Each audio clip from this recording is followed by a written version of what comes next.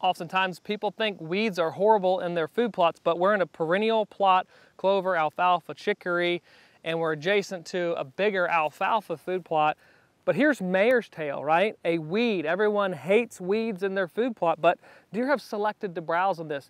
There is absolutely no shortage of food in any direction for a deer to be browsing on, but they chose to and selected mare's tail, a weed, right?